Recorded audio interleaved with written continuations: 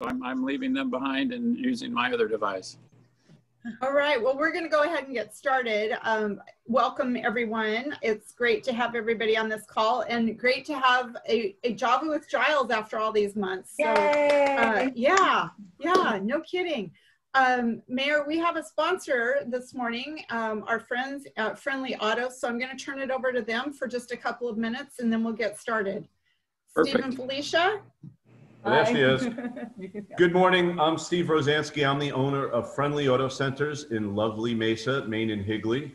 Uh, serving the automotive industry for 43 years. We've been here six years in Mesa. We're the number one shop rated by AAA. Uh, it'll be three years in a row. We are looking to win our third year in a row, Best Shop in Phoenix by AAA. We've just been nominated for the BBB Torch of Ethics Award, and we just won Second the year in a row. second year in a row, and we just uh, were awarded the Carfax Shop of the Year um, in Phoenix. So a lot of good stuff going on. We have 22 service bays, and um, we deal with mostly local businesses. So the money stays in Mesa, stays in Arizona. Um, we're not a franchise. We're strictly, you know, one shop, one owner. I don't look to open up more shops. Um, I'm also, me and my wife are the host of Drive Friendly Radio Show, which is Saturday mornings at 1580 The Fanatic Sports Radio. Uh, I've been doing radio for a little better than 20 years, so now we uh, took it out here. So we have a pretty popular show on Saturday mornings. Many of you have been guests on the show, and uh, it's a lot of fun. So tune in on Saturday mornings. What time? 10 o'clock. 10 o'clock. 10 We also do o'clock. Facebook.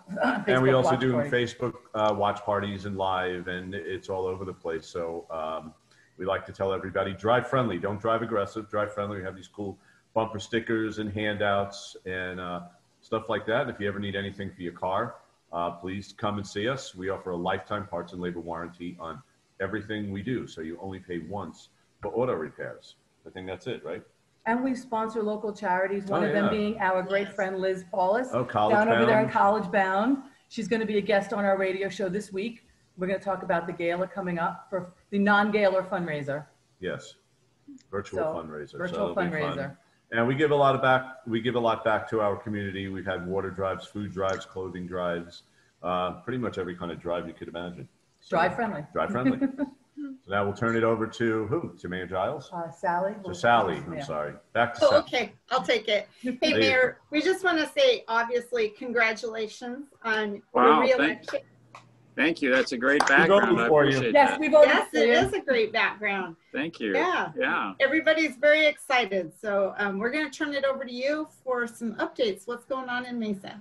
Oh, great. Thank you. Uh, Sa- Sally's heard me say this a, a bunch of times, so she's going to try not to uh, to cry. But there's a couple of things you need to know me about me right off. Is that number one, I'm I'm a politician. Obviously, I was just my my name was plastered all over the streets for the last you know several weeks, and I can't uh, you know persuasively convince anybody to the contrary that I'm not a politician. And then number two is before that, for 25 years, I, I practiced law as an attorney. So the, the, combination of those two things have created in me a highly developed ability to be extremely boring. So in order to overcome that, it's important that that you uh, that this be a, a, di- a dialogue rather than a monologue. So so please, uh, hopefully you'll you'll interrupt me and you'll raise your hand or, or you'll uh, you'll just interject. Well, you know, what about this or what about that? You know, because uh, I'm anxious to to chat about the, the issues that are on your mind uh, relative to the city of Mesa. Uh, but I'll just kind of uh, kick it off by, by saying the, saying the obvious, which is we're obviously living in very interesting times right now and, and uh, going through the, the, the COVID-19 uh, experience, you know, I, I think has been uh, uh, monumental for all of us uh, in, in, in just many, many ways. And uh, I, occasionally I try to reflect on that and you know and and ask myself what are the what are the lessons that I'm supposed to be learning you know as a result of this experience? And there are some things I think that have been made more obvious to me about our community and about you know what what uh, I as a member of that community maybe ought to be doing to try to uh, to make things better for for those that I uh, that I live with and um, a couple of the, some of these observations, uh, I don't know coincidentally, but they, they, they've kind of uh, dawned on me as I've participated in uh, some of the food distribution events that we've had in our city. uh, I'm I'm proud of the way that uh, our community has really rallied around each other and, and stepped up in multiple ways. But but one of the uh, at the beginning of this uh, experience, one of the things the city of Mesa tried to do early on was, was to, to reach out to as many people as we could to do some, uh, just a big community engagement event to ask people what are the needs of the city you know what should we be focusing the resources of the city on uh, that would be you know have the most impact uh, to the most people and you may recall at the at the very beginning of this experience we were all uh, i mean the, the, first thing that happened is our grocery store shelves emptied you know people uh, uh, kind of hunkered down and and uh, went out and bought all the toilet paper they could you know fit in their car and and and so back in, in that environment, when we were asking people, what are you worried about? The, the, the first thing that came back was food insecurity. Uh, and so as a result of that, uh, you know, we immediately tried to, to respond and, and, and the city of Mesa uh, really jumped in a strong way into partnerships with our food banks, uh, United Food Bank in a, in a big way, but also Midwest Food Bank and a lot of the food pantries and, and other uh, you know, folks that were engaged in, in food insecurity, addressing food insecurity. And so uh, I recall at the, that the very first, one of those very first events, uh, I was uh, there to volunteer and, and, and uh, as I was, was helping, I, I, very quickly became concerned with the fact that, uh, that there was just a long, this was before we figured out how to do this and, and allow people to remain in their cars. Uh, but there was a long line of, of senior citizens that were standing next to each other, literally wrapping around the building. Uh, many of them wearing face masks, and this was back before everybody wore face masks. Uh, and I could tell that, that, that, that, they were not only elderly, but they also had underlying medical conditions. Uh, and um, obviously, these were the people that we did not want, you know, standing in line to, to get food. And I thought, how how tragic that they are that they're so uh, concerned about food that they're willing to you know to put their lives on the line to come out and and uh, and address that need uh, and uh, so it just brought home to me in a, in a powerful way that, that we have a real divide uh, there, there's a, a, disconnected population of seniors who who didn't have uh, you know a church group or or grandchildren or uh, neighbors that had you know taken them under their wing. Uh, they were kind of on their own, you know, to, to, to, figure out how to address that uh, that challenge. Uh, and so, as a result of that, we uh, we we rallied with uh, you know some of the the do-gooders in our community and and had this adopted grandparent program that I think is that has been effective in in helping folks in that situation. So so that's one divide in our community that I think we need to figure out how to, uh, even after the, the COVID challenge has been resolved, we need to, that's been made more obvious to me, and we need to build bridges uh, between the, the, the, the, generational divide, but also the kind of the tale of two cities that we have going on in Mesa, where we have the haves and the have-nots. And uh, one of the things I love about Mesa is it's a great combination of people who, uh, who need help and people who have the resources and the inclination and the sense of calling, you know, to step up and and and help people. Uh, so I, I, wouldn't want to live uh, anywhere else because uh, you know that, that that's great that we have those two things going on at the same time. Uh, another similar experience that uh, occurred to me uh, during a one of these food distribution events is just the, is the digital divide that, that it, it is, is prevalent in our community. Uh, I was at a, an elementary school. You know, Mesa Public Schools has been a great source of providing food to the to people in our community throughout this process as well. They, they've got, you know, uh, drive up facilities uh, and a lot of school, all, all the kids that are on free and reduced lunch, you know, throughout this process. And, and even not, not just those kids, but everybody could come to public schools and get food.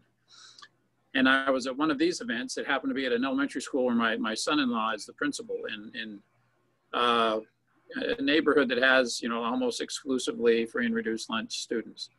And as uh, the families would, would drive up uh, to get their food, uh, they also uh, were were adamant about picking up packets uh, for their kids to work on on their schoolwork, and that's because a lot of these families didn't have you know, access to the internet.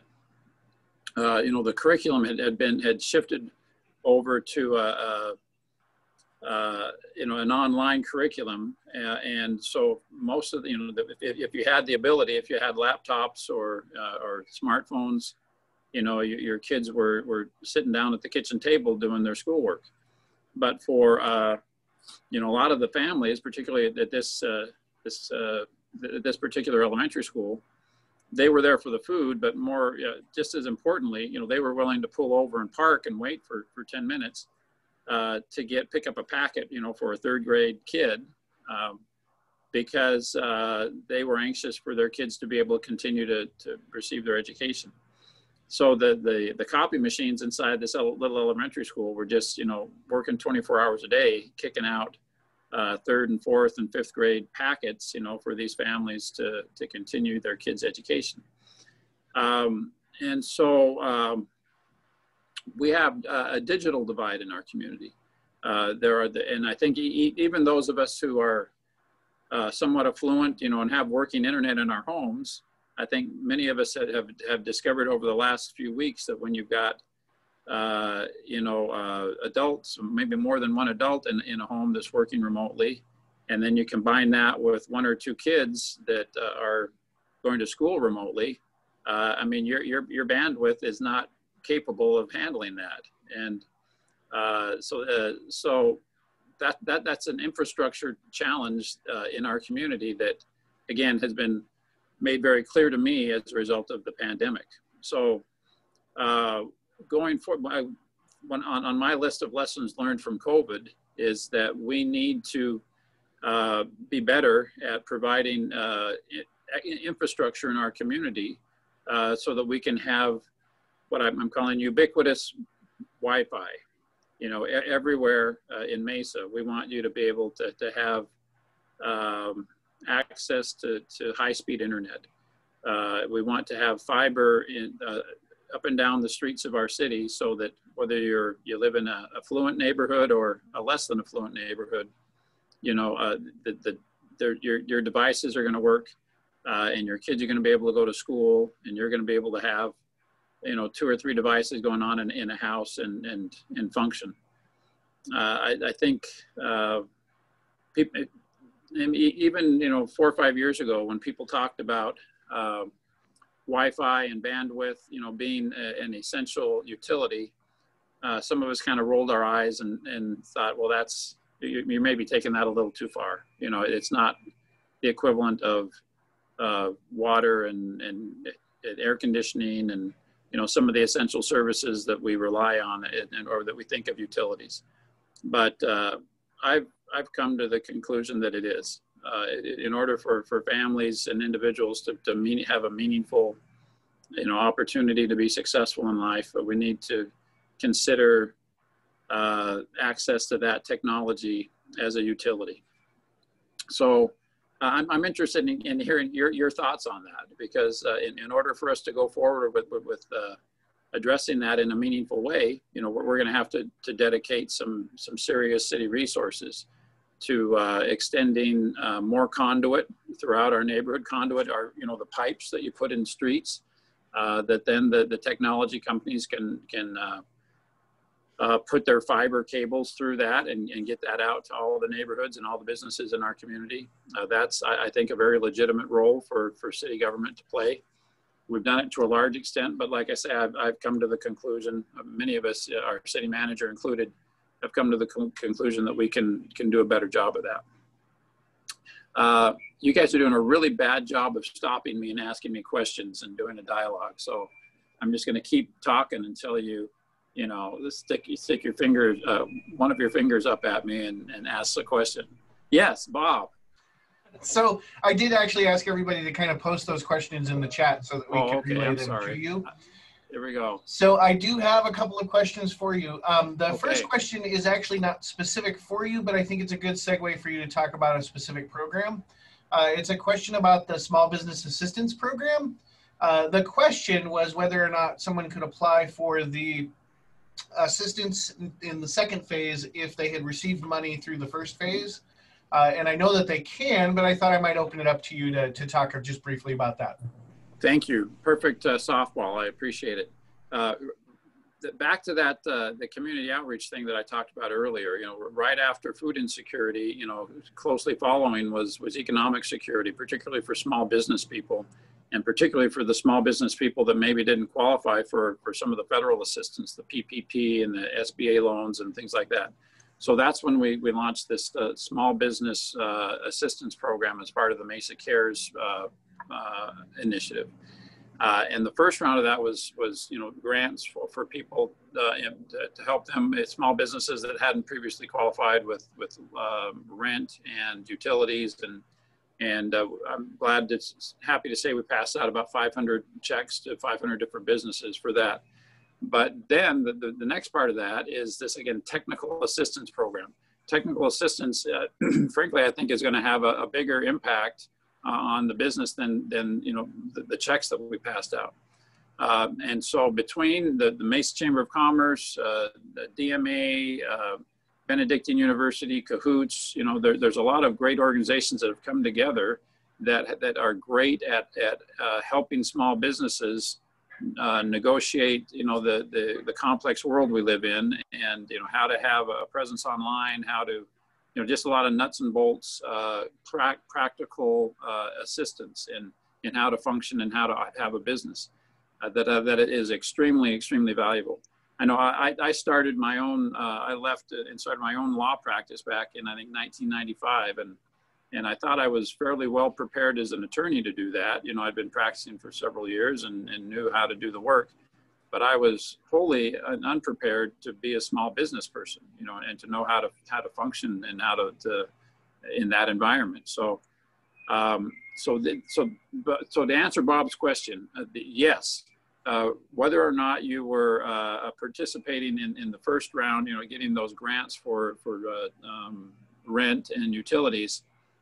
Totally separate from that, please do apply for uh, the, the technical assistance program and and you won't be denied. I mean, we, we don't uh, say no to people for that. Uh, and uh, we're anxious for, for everyone to participate in that. Uh, I had a great experience a, a week ago. I was at uh, Dixon's Jewelers in downtown Mesa, and we they were one of the recipients of one of those big checks. And and Michelle there said, "This is great, but I got to tell you a story. We, we signed up for the technical assistance program." and I went online and, and took a class on how to improve my uh, my Google search, you know, uh, responses for my business, and uh, we were dramatically better, you know, after that. You know, I, I, didn't realize how much I didn't know about how to be good at that, and and last and and then just a couple of days later, a gentleman came in on on a Saturday and spent like twenty eight hundred dollars, you know, uh, between getting you know a few things fixed and buying this and that and 100% this guy came in because I'd, I'd gone through that Google class. So uh, yeah, I, I, I, please do uh, help, please look at it, sign up for it, spread the word that there's a lot of really great resources that are part of that technical assistance program that, that unquestionably will have an impact in improving your business. So, so it's kind of a uh, hard sell. So next, uh, next question. Yes uh, talk a little bit about the recent Amazon announcement and some of the economic impact that that'll have on Mesa. Sure. Um, right uh, immediately to the east of Boeing uh, is at Higley. Uh, there, there's a, a, huge building uh, that, that was, it's a spec building that was built uh, by Opus. I think it's, you know, like 60, 70,000 square feet uh, you know, it casts its, you know, a shadow, you know, all over town. And, uh, and that building, uh, building those types of buildings is, is, really smart right now in the city of Mesa because uh, our economic development people will tell you that we constantly have huge businesses like Amazon that are coming to Mesa and saying, hey, we need a 100,000 square foot building, you know, and we need it tomorrow. Uh, and so the, the, the, smart people that are re developing real estate are, are building these kind of buildings. So, so that building has been uh, is you know is turnkey ready, you know, for uh, someone like Amazon to come in and and uh, bring, you know, hundreds of jobs and and uh, use, utilize uh, 80,000 square feet of, of, of building. So uh, Amazon uh, has uh, was was looking, you know, they're they're they're uh, buying, uh, kind of gearing up in in the Phoenix area in a big way, and so. They have these big Amazon, you know, fulfillment centers that are literally like a million square feet. You know, they have their own environment inside. It's just amazing.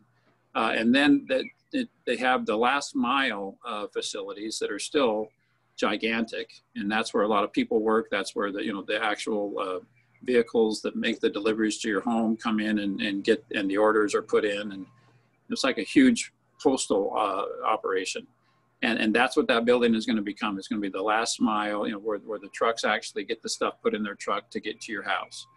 Um, and so, uh, and, and, and it, the building it, itself, you know, like I say, is huge right now, but they're adding to it because this is where a lot of people are actually going to come to work. You know, a lot of the, a lot of cars are going to be parked there. A lot of the vehicles that deliver the, the, your orders to your home, you know, are going to come through there.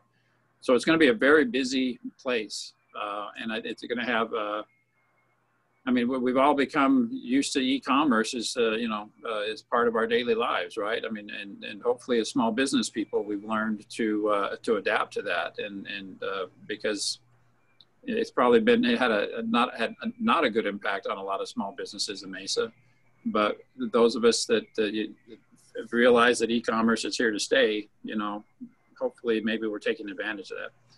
So uh, it's it's a big deal. Uh, Amazon is moving uh, ahead fast and furious, but the, the, building is is already constructed, so it, it's going to happen very quickly. And Amazon is just moving in and and uh, making it functional.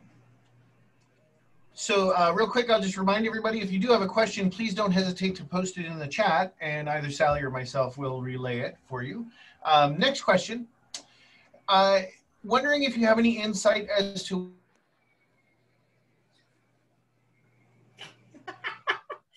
The suspense is building, isn't it? I think he's uh, he's reading a question about insight on um, snowbirds coming back. Oh, boy, we sure hope they're coming, right? I mean, that's when uh, that's uh, we're, we're all anxious uh, about that. Well, here, here's my my crystal ball projection on snowbirds. Uh, typically, you know, for the last million years, you know, we've kind of had uh, kind of a, a economic uh, uh, cycle that we've gone through in Mesa, where you know during the summertime things kind of get real slow because everybody leaves town. You know, uh, we refer to February as Christmas in February in, in Mar- well, Christmas in March is spring training, right? Because the whole world comes to Mesa uh, for baseball, and because it's the perfect weather so uh, and and and and so we we usually get our, our sales tax in the month of March is just about the same as it is in December, you know, because that's just the cycles that we have here in Mesa as far as economic activity goes between snowbirds and, and baseball fans. Uh, and uh, we just kind of hang on and try to survive during the summer. Uh, well, we we've been very nervous, and Mesa is very reliant on sales tax dollars. We're the largest city in the United States that does not have a primary property tax. So that's just, we've kind of got a, a, different model for how things get, how we, we collect taxes around here. Very dependent on sales tax. So we were extremely nervous, you know, for the, the economic downturn, you know, the kind of the one two punch of going into the summer months and, you know, uh, people being out of work and not having money and, and uh, not buying stuff as a result of, uh, you know, of, of that. Well, uh, come to find out, uh, our, our sales tax for, for June and July are higher than they were last year. Uh, and we're going, what the heck is going on here? We thought we were in the middle of a, a, an economic downturn. Uh, and so I don't know why that is. Here, my guess is I think, you know, a lot of people who, be, because we're kind of in a quarantine scenario, a lot of people, they're, you know, they're not getting in their cars and, and uh, going to visit their family in the state of Washington or going to San Diego for the weekend or, you know, driving back east. Uh, uh, you know, travel is down, tourism is down, uh, not just people coming to Mesa, but people leaving Mesa. Uh, so uh, I, I, I, suspect we will, but I mean, it's the winter is still going to be horrendous, right? I mean, everybody who lives in in uh, Chicago and in Wisconsin, you know, they're still going to be buried under three feet of snow, and I think a lot of them will say, well, we, we might as well, you know, be in Arizona, you know, fighting COVID there than than than snowed under here. So um, we don't, we just don't know what's going to happen. Uh, it might be that people are, are uh, intimidated by the virus and they're staying home because they're hunkering down or not. I, I, just don't know what's going to happen. But, but this summer, surprisingly, uh, sales tax has been better than it's ever been. That's good. Do you have any updates on spring training? No, uh, I mean, it's been fascinating to watch, you know, the way that uh, baseball, base, they're playing baseball right now, right? And they're, they're playing it under uh, uh very controlled situations uh, without fans. And, and, and so uh, let's assume that they're going to try to do that, that, that the COVID situation doesn't get better, you know, that, that a, a, a vaccine, you know, doesn't, it doesn't come in and just be the holy grail that solves all our problems well, then that means that they might just try to follow the same model next year, but they're still going to need spring training, you know, to get ready for playing baseball. So um, I, I, think maybe worst case scenario is we still have spring training, but we don't have fans, right? We did, we follow the model that they're doing now, which which would have some impact, but not that's not that's not what we want. We want a lot of people in, in you know buying hot dogs and beers and and uh, Cubs hats and and paying the Hohokams for parking. You know, that's that's how that's the regular model. Uh, but if you look at the NBA, you look at uh, Major League Baseball. Uh, uh, it'll be interesting to see how the NFL, you know, handles this. Right. Um, the the end. That I, I, guess that's a long-winded way of saying I don't know, but I think uh, professional sports is still happening. And uh, it, it's such a huge business you know people it's it's billions or trillions of dollars so people just don't uh, they're not willing to just shrug their shoulders and say no i guess we're not going to play baseball. Uh, next question. Uh, are there any other plans uh, for federal cares dollars are there any other programs in the pipeline or things that are kind of coming down before the end of the year another great question uh, the, the current, um, just to remind you what you may already know, uh, back in, um, I think it was early April, the federal government put $90 million into the city of Mesa's checking account. And uh, the, the rules, and, and that's been a great blessing at, at, at, the same time, a great challenge, you know, for us to, to figure out uh, appropriately what to do with that money. There certainly are, you know, there's a million strings attached to that money. Uh, and so, uh, I, but I think we've, I'm really very proud of the way that we have uh, been stewards of that money and, and uh, got it into quickly into the hands of people that needed it.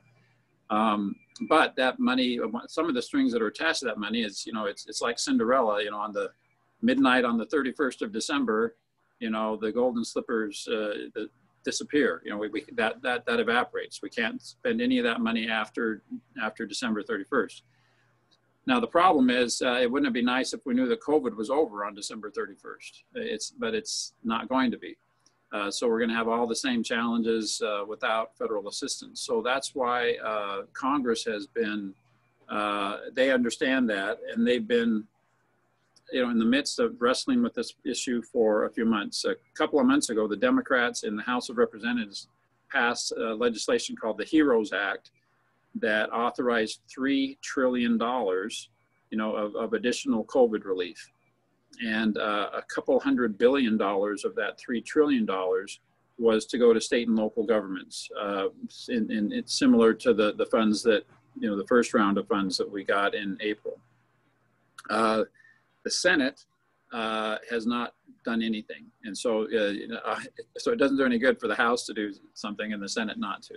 Uh, so uh, it was about two weeks ago, you know, we were very, very close to the Senate and the House, you know, coming together and, and compromising, you know, the House was at 1 trillion, the Senate was at, I mean, not, the House was at 3 trillion, the Senate was at what, 1 trillion. So you're like, come on, you guys, uh, obviously just settle on 2 trillion, let's move on and, and help people. But uh, that didn't happen. Uh, I don't know. Uh, everyone seems to think that uh, Mitch McConnell and everyone says yes, there needs to be more assistance. We're going to do it. Uh, it so it's the answer seems to be that in, in, inevitably it's going to happen, but it's it's stuck in in the political machine right now. Um, and most people agree that that state and local government assistance is going to be a part of that, but it's still it's a negotiating you know uh, item right now. Okay. Uh, next question any guidance in regards to self quarantine for uh, visitors that come into Mesa? So there was a, specifically the question was asking if snowbirds are going to have to quarantine for 14 days when they come into town. So. Uh, yes, that you know that's that's yet to be determined. Right, we have seen that. I mean, Arizona, as you know, was was the victim of uh, of that. You know, uh, just a, a, month or so ago, uh, when when people from Arizona would go to New York, they would they were told you have to you know stay in your room for two weeks and you can't go out and interact with New Yorkers. Uh, so we, we have seen some of that happening. Uh, right now, uh, so I so I, I, would hesitate to speak authoritatively saying that is or isn't going to happen.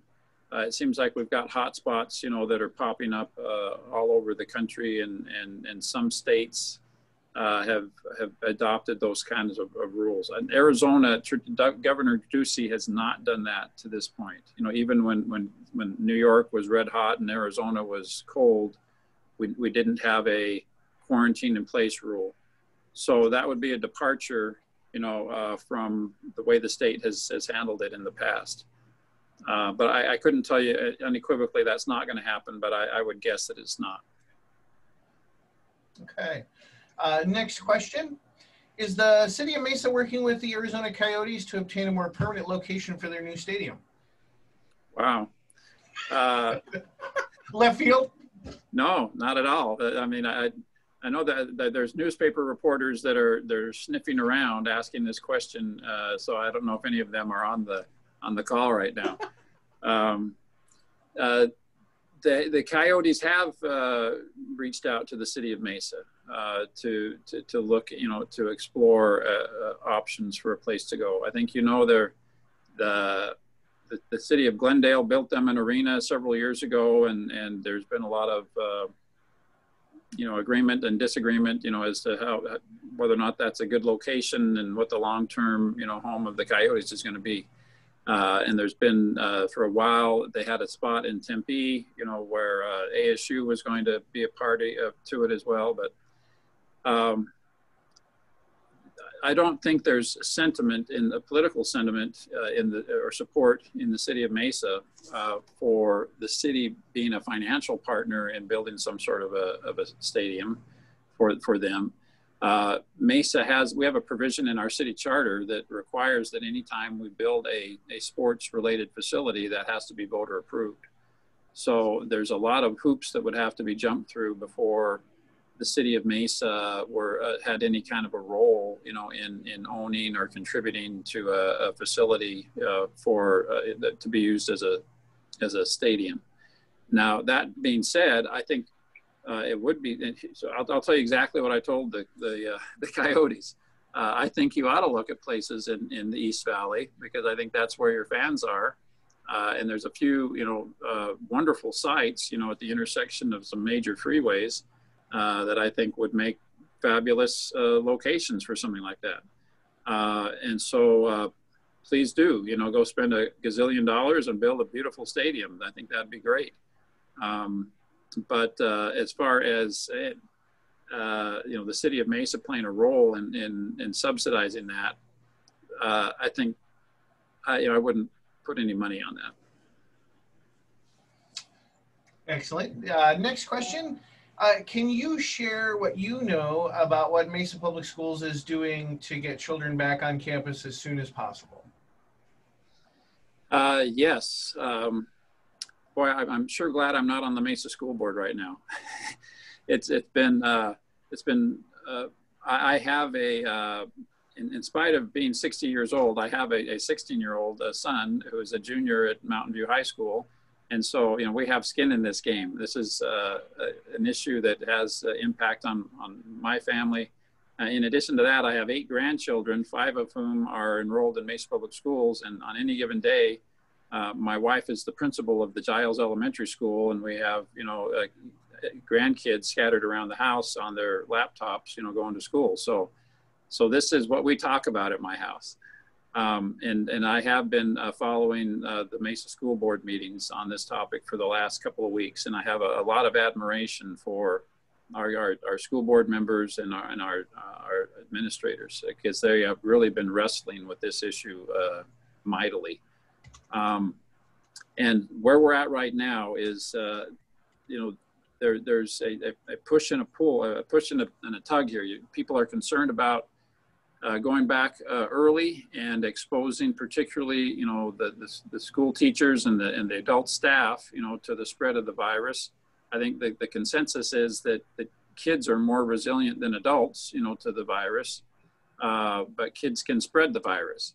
Uh, so the question is, do you, you know, potentially put, uh, you know, the the 60 year old uh, kindergarten teacher at risk, you know, by by uh, asking her to go back into the classroom? Uh, the other, the tug on the other hand is that our kids need to be back in school, you know, for their own mental and emotional health. You know, uh, they're they're it's not good for them to be in, you know, quarantined at home. They we we need uh, it, it's in everyone's best interest to have the kids back in school for, for all of those social and emotional issues, uh, let, let alone academic progress.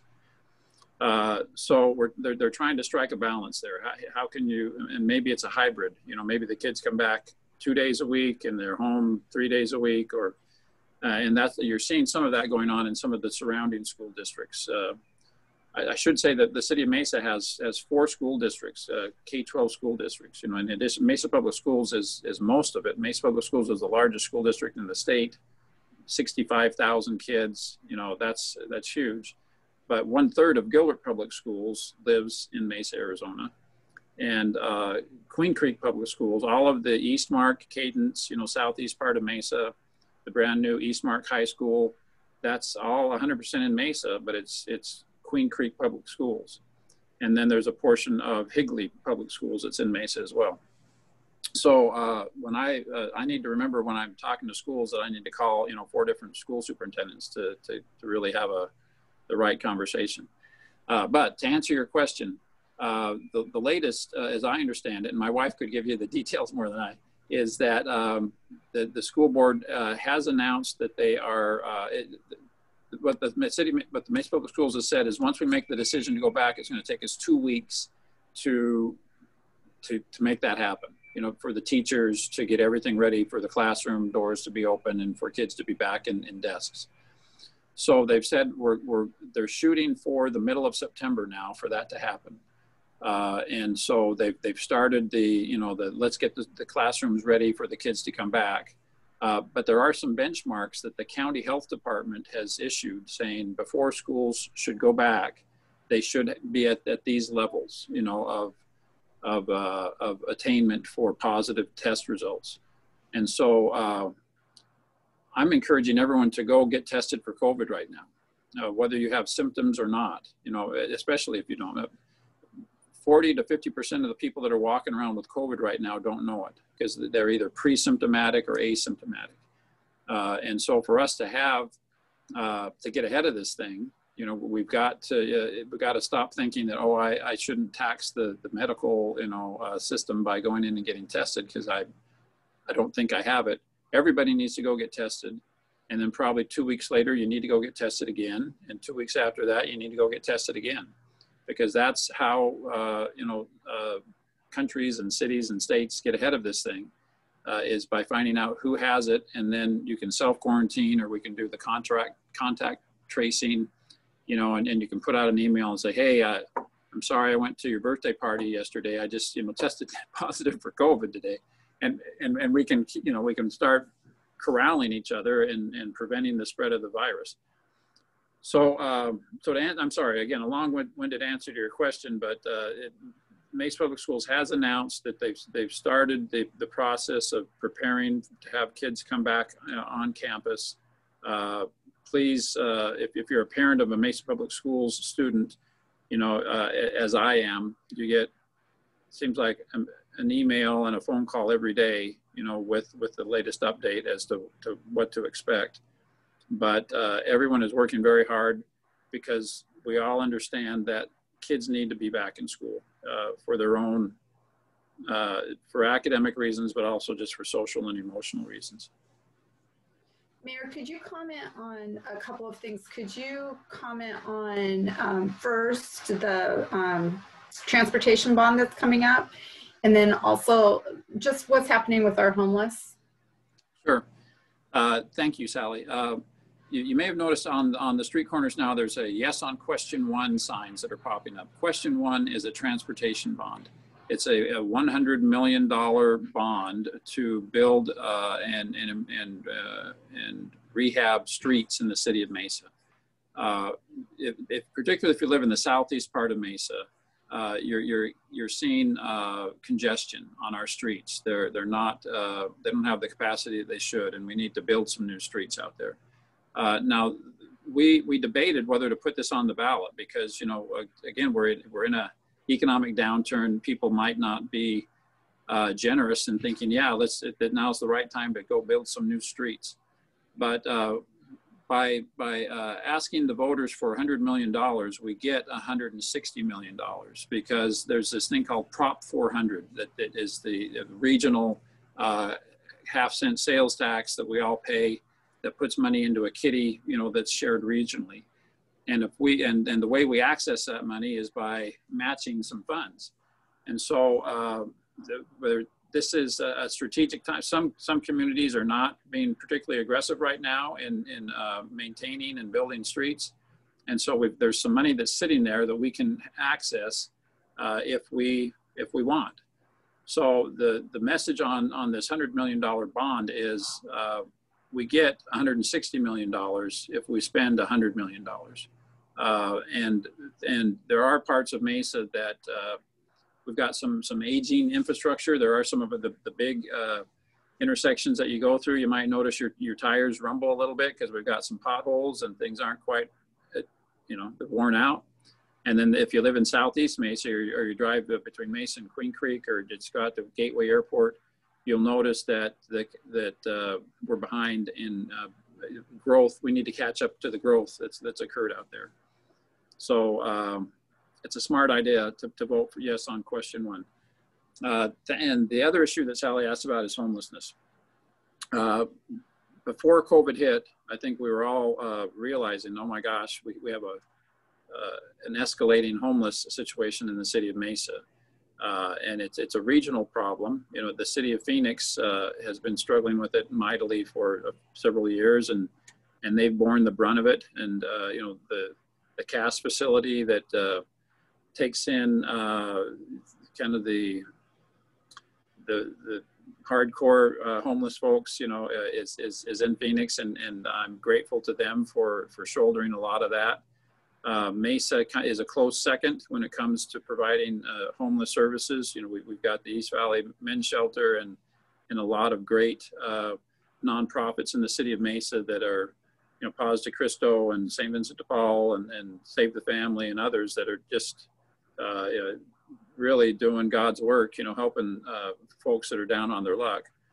Uh, so th- this was an issue, you know, long before COVID uh, showed up in Mesa that we've been trying to to get better at. Um, at and then when COVID comes, that that complicates things because you've got an at-risk population that we don't want, you know, to get sick and to, and to it, it's kind of very fertile territory, you know, for for for for that population to to really be impacted by COVID. Uh, and so we've been using some of the COVID mon money that I told you about earlier uh, as part of this Operation Off the Streets program to uh, to to help those people that are particularly at risk. Uh, and uh, so we uh, we don't want people urban camping in the city of Mesa. We want them, you know, spending the night someplace other than in our parks and, and in our alleys and and uh, on the railroad tracks. So uh, we have, uh, you know, the hospitality industry during this downturn has been decimated. So you know, hotels and motels literally are just just shutting down, you know, because it, it, it it's they can't keep the doors open. Uh, and so uh, we have been uh, trying to kill two birds with one stone here, and and for the uh, for the last few months, you know, we've been uh, renting up to 85 motel rooms a night.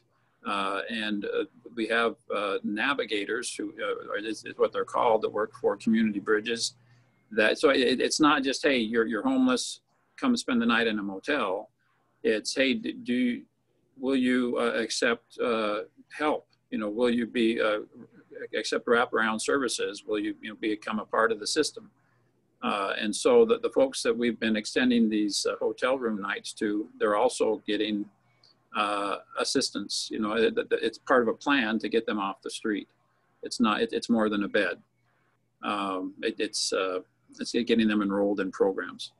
So uh, the silver lining, you know, to the, to the COVID uh, storm has been that we've been able to, it, it's facilitated us really getting to know our homeless population a little better and and and, uh, and having uh, a way to connect to them to get them off the street and get them more involved in in getting assistance.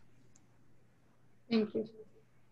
So I know we have just a few minutes left, um, and uh, there are two topics that have come up that I thought maybe I would just see if you could touch on briefly. One is uh, the Education Promise Program rolling out in 2021 and the other is Mesa becoming a dementia-free city. Uh, and I thought maybe you might want to talk to each of those. Thank you very much. Uh, yes, one of the, our ongoing priorities as a community, uh, second to you know, protecting the health and safety of our community uh, during the COVID crisis, I, I, would say that you know we still are, are, are maintaining our, our uh, making a priority, trying to improve the education attainment of our community. Uh, and, and so that means we want more kids in preschool, but it also means, and, and the city plays a role in that through our Mesa K Ready program, but it also means that we want, we, uh, we have a goal as part of this Arizona Achieve 60 goal to, to have at least two years of post high school education, you know, for, for kids coming out of high school uh, in Mesa. Uh, and, and a great uh, tool to use to achieve that goal is Mesa Community College. You know, uh, we would love it if if kid and, and also EVIT, you know, there's other programs. We're not necessarily saying that everyone ought to, that the answer for everyone is to, to pursue a four-year, you know, college diploma. It's not, you know, there's a lot of people that will be far more successful financially, you know, if, if they uh, take advantage of some of the other great programs that are out there for, for post-high school uh, training. So uh, in order, so uh, we've announced what's called the Mesa College Promise Program. And, and what that is, is if uh, you're a high, um, um if you graduate from a Mesa high school uh, and you can jump through a, a, few hoops, you know, you have to take the FAFSA uh, application to find out, you know, what uh, you might be eligible for uh, as far as grants and, and, and things like that from the federal government. But if, if you'll do that and if you're eligible uh, for, for those, for that financial assistance, we'll make up the difference uh, to get you enrolled at Mesa Community College for two years. Uh, you know, uh, so, and it, it's, it's a wonderful uh, idea that's been very successful in other parts of the United States. Uh, and it's something that we can do. So, but between the, the, city of Mesa is, is very much a partner in this, and, and we're contributing some, some money to this program, but equally important is the, the support of the business community because uh, we, are trying to raise as much money that uh, from philanthropy as the city is contributing for this to be successful. And uh, I, have been involved in that fundraising and it's going very, very well. Uh, we're, we're, going to be announcing some very generous uh, contributions from some of the large corporations in the city of Mesa. Uh, and, and, this is an idea that, that needs to really be uh, established and, and be long lasting and be the new normal in the city of Mesa. That we want it to, to be self-sustaining and to have a, to be a foundation that, you know, doesn't go away when those of us that are excited about this idea, you know, uh, aren't uh, uh, in office anymore. So, uh, but I, again, we've, we've already got, it's, it's starting a year from now, you know, next fall. So the, the, kids that are high school seniors right now, we're telling them, you know, hey, apply for the Mesa College Promise Program, and we'll make sure that you can uh, get get uh, in and out of Mesa uh, Mesa Community College. You know, money won't be an excuse. Uh, so I'm very excited about it and would appreciate everyone uh, helping to get the word out. And, and if this is an issue that you're passionate about, we'd, we'd love to have you be a, a part of it as well. Uh, Bob, what was the other issue we were talking about? We have dementia. the other the other day, Well Sally sent me played, a, sir. Well played. that was totally uh, not not a calculated uh, setup. The other day, Sally sent me a message about, "Hey, did you remember when I was talking to you about dementia?" And I just thought that was so funny. You know, I- how could I dare say no? I don't remember you asking me about dementia. but um, last night at our city council meeting, we issued a proclamation, um, uh, kind of join, joining uh, Mesa to be a dementia-friendly uh, city and uh, having a partnership, you know, with the chamber and with uh, uh, um, the, the providers, the nonprofits in our community, uh, to to to be more supportive of uh, families and individuals that uh, that are confronted with dementia. So uh, it, this is modeled somewhat after, you know, the the uh, initiative that we've been going with for the last year or so on, on being an autism-friendly community uh, that's paid some some great dividends. I mean, I've had lots of you know national reporters you know call me and tell me uh, ask me questions about this uh, autism friendly uh, certification that we've got, and we want to do the same thing with the uh, dementia friendly uh, uh, program as well. So I think it's it's, it's raising awareness. Uh, it's um, like I said, part of this uh, disconnected seniors issue that we started out this conversation with. You know, there, there's a, there's a tremendous need out there for uh, supporting members of our community that are struggling with dementia and families that, that need assistance, uh, need some respite care and need some community support. So uh, I'm, I'm excited to be a part of it. And, and coincidentally, it was just last night that we issued that proclamation and, and we're looking forward to, uh, to working with the providers in, in the city to partner with them. Cool. So um, I know you're probably pressed for time, so I don't necessarily want to keep you any longer than we have to. Um, so I'm I'm going to go ahead and pass this back over to Sally to kind of wrap up and uh, and thank you for being with us today. My pleasure. It's been fun to be with you. Mayor, it's always good to see you, and I know that our businesses appreciate all that you do. Um, we'll find another time to do another Java. Obviously, there's always new things going on, so we want to bring you back so you can give more updates. But thank you again for last night. Um, I know that the dementia-friendly um, cities is important to our community. We do have, in, um, you know, in some of our areas, an older population, and we do have a lot of our members that work with um, the aging population, so it means a lot. And we will be doing ongoing training um, for anybody and everybody who wants to um, either personally get trained or have their their you know staff um, get on the the calls and get trained. So um, with that, Mayor, unless you have anything else, we'll go ahead and end the call. It's 9:01, and um, congratulations again. We appreciate you. you and all you do for Mesa. Anybody Thank you. else? Stephen Felicia, thank you very much for sponsoring this morning. Thanks to the chamber for being such a, a great part of our community and, and Yeah, getting we just- engaged in these issues. We just want to really you. thank Mayor Giles because we really miss Java with Giles. We liked having that chance to see what's going on and we love you and we think you're doing a great job. So we appreciate you. Thank you. Likewise. You're not alone, Mayor. Thank you All very right. much. With that, everybody have a great day. Bye. Yeah. Bye-bye.